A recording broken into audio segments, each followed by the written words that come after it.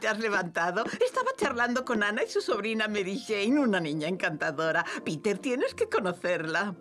Em, ¿Y cómo es? Oh, Mary Jane tiene una gran personalidad. Ah, Ahora está allí. ¿Por qué no vamos? me y- encantaría, pero le prometí a Harry que le ayudaría con sus deberes. Perderé el autobús. Adiós. ¿Puedo leer mi correo? Una invitación para el baile de otoño del Midtown. Sería estupendo si tuviéramos, ¿cómo se dice? Una pareja. A lo mejor se lo pido a Mary Jane Watson. Mary, ¿qué has dicho? Una chica que tía May quiere que conozca. Imagínate, tiene una gran personalidad. Yo estaba ¿Qué es pensando... eso? ¿El qué? Esto es solo un anuncio del gran baile de otoño del instituto, pero no voy a ir. No tengo pareja. Oh, Peter. Ah, Llevas una vida tan solitaria.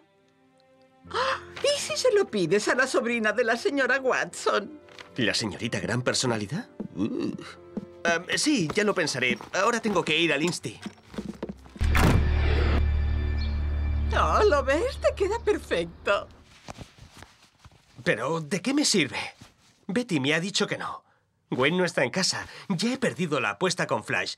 Aparecer solo sería mucho peor. Entonces, ¿verdad que es una suerte que la sobrina de Anna Watson, la encantadora Mary Jane, esté viniendo? ¿La señorita personalidad uh, está viniendo?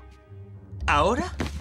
Ahí está. ¡Oh, qué vestido tan precioso! Ten, te he comprado el ramillete, no podía pagar la limusina. ¿Tú, ¿Tú has planeado esto?